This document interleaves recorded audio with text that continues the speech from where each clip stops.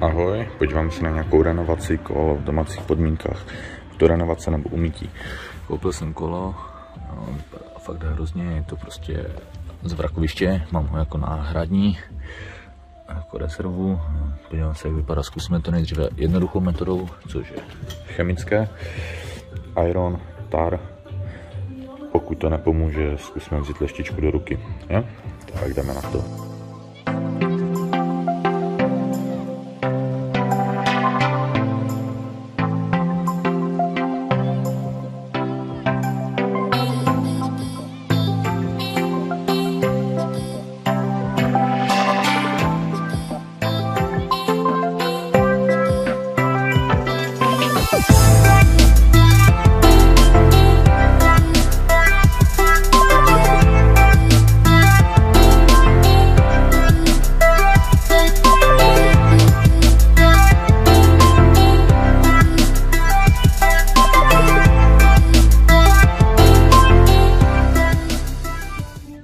Pozor, zde bych chtěl dodat, že tohle určitě nepoužívat na karoserii.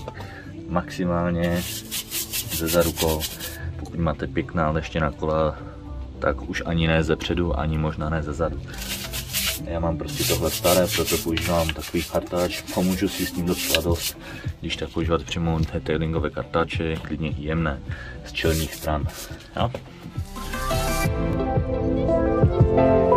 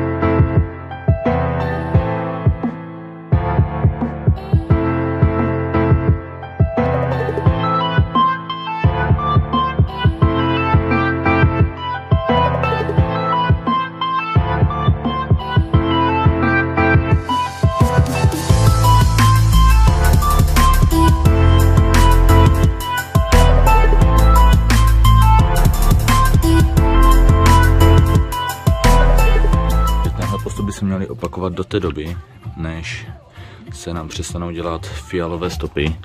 Já to trošičku zkrátím, protože tohle bude fakt na dlouho. A sejdeme se potom při použití taru. Že já to nebudu nějak moc zahrotit, protože je to fakt jenom kolo, co bude sloužit jako rezerva, takže na něho doufám, že nebudu moc sát.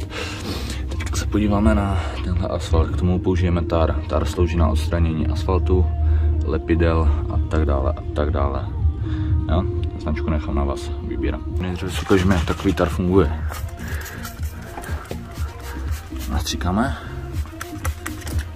Měl by nám pěkně rozpouštět asfalt. Samozřejmě při tomhle znečištění mu taky pomůžeme štětcem.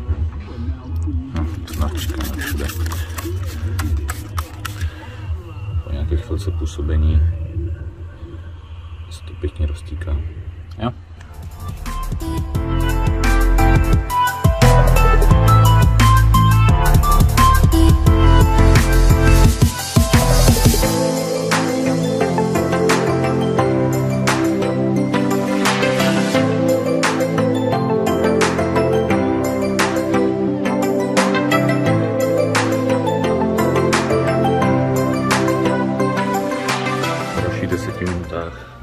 pěkně roztýká. Jo? jak to vypadá a podíváme se na výsledek, jak to spláchneme.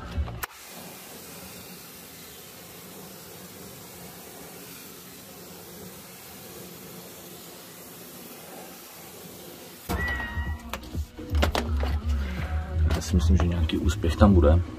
Samozřejmě tohle už je zase poletavka a tu, co jsou prostě tak, to jsou škráby na kole, jo. S tím už prostě nic neudělám, aniž bych to nenabarvil. Přesvědčíme se, že je to opravdu poletavka. Samozřejmě pokud chcete mít opravdu vypucované kola, budeš muset prostě opakovat hodněkrát tenhle postup.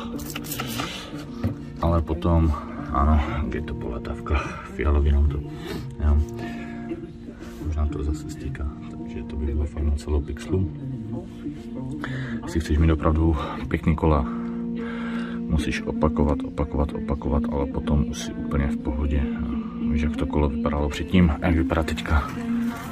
To samý odsaď, to potom ještě budu se dopláchnout. Takže doufám, že se ti to líbilo, za nějaký like, odběr či komentář. Budu rád.